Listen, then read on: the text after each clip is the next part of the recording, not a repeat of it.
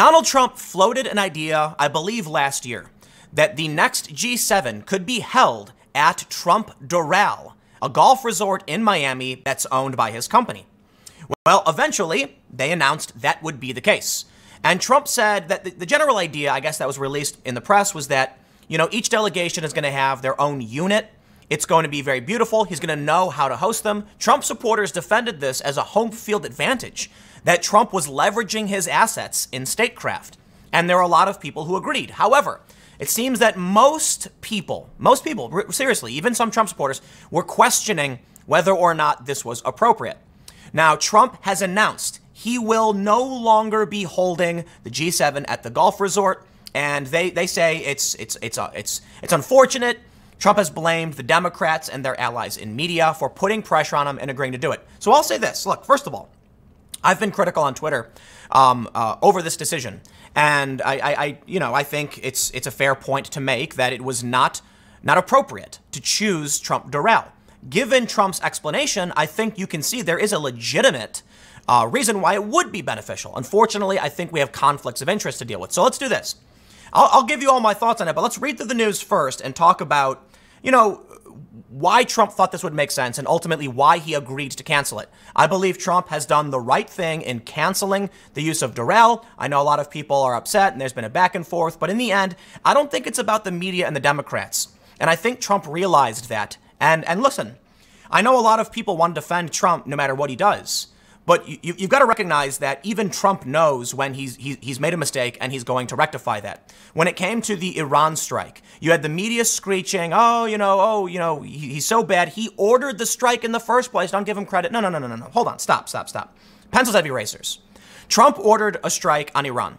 He canceled it halfway through and said, we considered the loss of life to be too great. Good.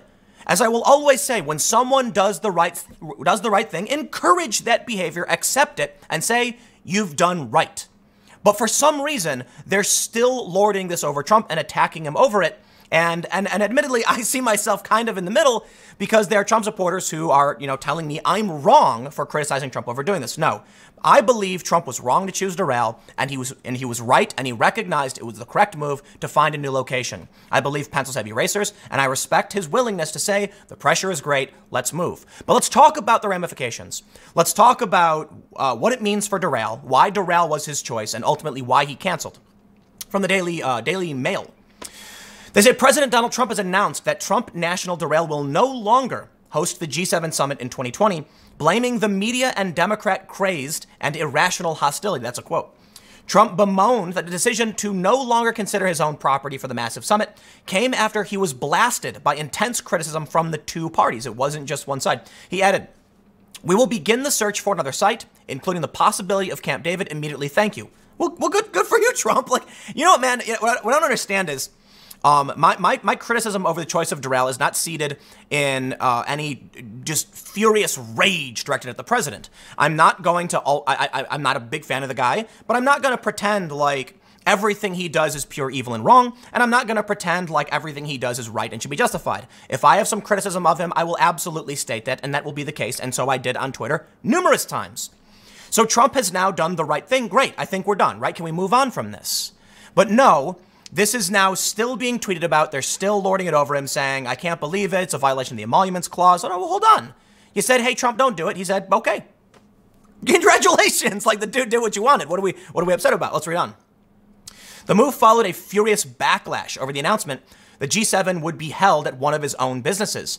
Chief of Staff Mick Mulvaney had previously touted Trump's offer, claiming it was vastly cheaper than other venues because President was offering it, quote, at cost.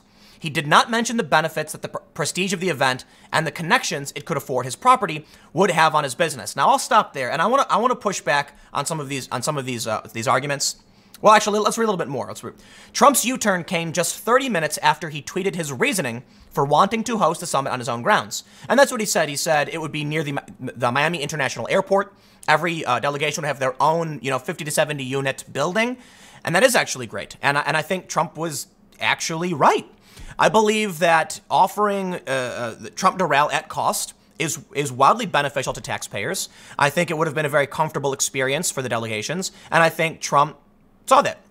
if you want to argue that Trump was seeking to enrich himself, I kind of I kind of don't I don't agree with that because listen, they're talking about first of all, he was offering it at cost. Okay. So he's not seeking profit, that's fine. They're saying that it still would have offered up great connections and prestige this is sort of true, but come on, man. Like, the last person who needs press attention and connections is Donald Trump. First of all, he was a celebrity billionaire before becoming president, and now he's the president. If Trump wants to get someone on the phone, I don't think he's gonna have a hard, hard time of it. I do believe that, uh, I'll, I'll put it this way I don't see reason to argue that Trump was seeking to enrich himself. I think it was just a bit tactless in, in that I don't think Trump thought through the potential precedent and ramifications of choosing Doral. One of the arguments I saw from Trump supporters was that Doral offers up a home field advantage and a discount for the taxpayer, and that's fine. But I'm thinking about long term ramifications, and I'm also thinking about optics. Right now, we have a controversy surrounding Joe Biden and Hunter Biden. And we want to get to the bottom of whether or not there was corruption there. I believe that is warranted and important. And right now, they're lording that over Trump, saying he was chasing a conspiracy theory and Biden did nothing wrong. Okay. Well, if you want to win that argument, you certainly can't award a contract to your own company, regardless of your seeking profit. I do think the arguments they've made about uh, uh, uh, about prestige is absurd. Come on, man. The dude's got his name on top of buildings around the world. I don't think he's concerned about needing connections. And the profit thing is out the window. Now, I have some fair criticisms. I, have criticisms I believe are actually more fair. The issue is precedent. First of all, they say it was a, a violation of the Emoluments Clause because uh, uh, the Emoluments Clause says the president can't accept gifts from foreign leaders. Eh, you, you, got an argument there. I mean, it's, it's, it's a bit of a stretch to say that a no profit, at cost, or zero cost event is going to be a gift to the president himself. The bigger concern I have is the conflict of interest in that the president shouldn't award to his own property, period, simply because it's not that uh, uh, it's not that his, his reasoning was incorrect. It's that I believe there should be a very wide space between government contracts and you know a government actor and their companies. The same is true for anybody in Congress or otherwise. I don't like the idea that somehow all of these Congress people on a salary of $174,000 a year are worth tens of millions of dollars. Yes, they absolutely do leverage their political power for personal gain within their uh, uh, uh within their families and everything like that.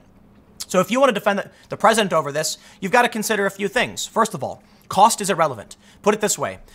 If Trump Doral is vacant, he still has to pay for staff, he still has to pay for electricity, he still has to maintain the grounds, and at cost helps prevent a loss. So there is still some benefit. Now, Trump says he was willing to do it at zero cost, in which case that would have been a net loss for Trump's company. And I still think it's, uh, I, I, still think it would be not, uh, not, not a good idea in that think about what comes next. Now, you've got people arguing that Trump and, and, and Ukraine and all this stuff, and they're saying, we got to think about what happens after the president. No, no, no, no, no, no. Let's think about what happened before the president with with uh, Ukraine. You know, the Politico story about the DNC, about Joe Biden and this transaction, this use of leverage, quid pro quo in Ukraine. Let's think about that and where we are right now. And I want to know what happened. Now, people have argued, shouldn't we investigate the president? It's more important. No, no, no, no, no, no, no. This, we spent the past several years in a nightmare spiral of Russia conspiracy nonsense. And now we're getting wrapped up in it all over again. My big criticism, for the most part, is eh, how could Trump not see that this was going to cause a major outrage, outrage considering what's going on with Hunter Biden? I think it was it was a terrible move, terrible, terrible, terrible move. I, I don't think uh, uh it's it, it's going to solve any problems or benefit our country to try and accuse the president of trying of, of trying to enrich himself when the dude literally left his billion dollar you know his his billionaire celebrity career and to reduce his salary to basically nothing as president. I, I think it's absurd when people try and argue Trump is trying to enrich himself off the presidency, especially when you look at every past president who entered the presidency not millionaires and left as millionaires. Trump is the opposite of that. You don't have to like Trump. But there, there's this immediate, immediate insinuation that everything he does is based on evil, malice, or corruption, and I don't think that solves any problems. I certainly don't think it communicates to Trump supporters how we set boundaries and how we decide what we're going to do moving forward. Now, I am concerned about what comes after Trump. I, I, I talked about Biden and all that to make a point that it's fair for Trump, in my opinion, to want to investigate the origins of the 2016 collusion conspiracy nonsense. Whether or not it's in Ukraine or otherwise, fine, look into it. And we have an investigation with, I believe, John Durham, so, so good. Now we can look at what comes after the president. If the president does award himself a contract for his own business, even if he's genuine, we have to be careful about the precedent it sets because there still are ways people can benefit and we could potentially create a loophole. I think we need to set a hard, hard barrier and say, even if your intentions are good, even if you believe Trump is doing right, we can have that argument, but at the end of the day, you should not be having a conflict of interest, period. And you know what? That may mean that the taxpayer will spend more money. I, I understand that, and I and I think that it, it, it, does kind of suck, you know, to, to say the least. If Trump was able to benefit this country using his own properties as leverage, and then you know taxpayers pay less, he has a home field advantage. I recognize that morally and ethically. I say, you know what? I know I can't speak for everybody else. And I know, of course, I'm, uh, uh, you know, rather moderate on the issue. I'm not shrieking at top of my lungs about Trump is evil and impeach him over this. No, come on. Trump changed his mind. He did right. There was a lot of criticism, and he said, okay, so good, good, good, right? Isn't this supposed to be, uh, isn't this how it's supposed to be? I'm concerned about Trump leaving office. We get somebody else who comes in and has some kind of business. Maybe it's an analytics firm. You know, maybe it's data tracking or something. And they say, oh, don't worry, we're doing data tracking at cost. And it's like, no, no, no, no, no, no, no, no. Right? So I don't, I don't see this as the worst possible thing in the world. I wasn't uh, crying and, and shrieking and punching walls when Trump announced Doral. I was laughing and I was like, oh, come on. You know, like, here, here's the thing. At the end of the day, if you're going to award your own company this contract, regardless of what anyone believes you're, you know, whatever the reason is for, you can't do it at the same time we're trying to figure out what happened with Biden and Hunter Biden. You can't do it. Okay. So, so you know, ultimately, I guess all, all, all I, I guess it's all irrelevant, right? I know there's still going to be a lot of ardent Trump supporters who are who are adamant that Trump was was correct to choose Doral and he should be allowed to. And you know what? You're allowed your opinion. You are. But in the end, look at this. While Trump may be upset, he may blame Democrats and the media, he's begrudgingly doing the right thing. And so here, here's the big takeaway I get from this Iran doing the right thing. Did he have a bad idea with the strike in the first place? I believe he did, yes. I believe it could have led to catastrophic consequences. Apparently, he talked to some thought leaders on the conservative side and he changed his mind. The left attacked him for this. And they were like, don't defend him. It was his idea in the first place. And it's like, no, no, no. When someone makes a mistake, you, you, you criticize it respectfully to the best of your ability. Not always. Okay, I'm not perfect either. But when they when they say, okay, you know what, fine, I will do something that you agree with, then you, you accept it and you give the respect that decision deserves. You know, they, they talk about people being flip floppers, and I, I, was one of the mo- most, most annoying things I've seen when they're like, this politician used to believe X and now they believe Y. Great. So you're saying they changed their mind and now supporting something that we like? If they flip to support something you don't like, call them out for not liking it, not for changing their position. People evolve, and we need to accept that pencils have erasers. This has been one of the biggest points I've made over and over again, especially with people like Joey Salads. Joey Salads, the YouTuber, did wrong. And at first, I was like, I, I was very angry, and I was like, nah, nah, screw this guy. And then I kind of had a, a, a kind of a, I don't know, epiphany. I was like, wait a minute. If I don't accept someone doing better and give them respect for making the right choice, then they'll only do it, they'll only get worse. So uh, anyway, the point is, I, I disagree with Trump's choice of Doral but I think in the end, this shows you that Trump is absolutely trying to do, in my opinion, right by Americans to the best of his ability, even when it's Democrats and the media who are primarily leading the charge against him, especially in this regard. Now, I do think because of conservative pressure is why he ultimately said, okay, okay, maybe this was, was a step too far. But, but think about the end result. If you don't like, so I think Democrats just plain don't like Trump and they want to get rid of him no matter what. So they're going to use this against him no matter what. And that's disingenuous and that's bad faith. If you want to see us pull out of whatever it is we're in, then what you need to do is let the pilot fly the plane. And if he's doing something you think is bad, like a hard bank, and you say, hey, stop this, and everyone on the plane says stop, and then says, okay, fine, I won't do that again, we say, thank you for listening. Thank you for, for understanding. And even if you're mad about it, at least, I mean, look, you got what you wanted, right? You need to accept that people can make mistakes. Okay, and and and I, I I just can't stand the assumption that literally everybody is evil all the time. And I'm not just talking about Trump. I'm talking about activists too. They're evil people. They exist. Okay, you might not like the president. You might not like Hillary Clinton. You might not like. Well, actually, Hillary Clinton. Let me let me let me let me, pull, let me get rid of that one because I really don't like her. Um, But there are people that I, I think are very, very uh, wrong and dangerous. And I don't inherently think all of them are evil. Now, Beto O'Rourke, that's a whole other thing. I think Beto's super evil.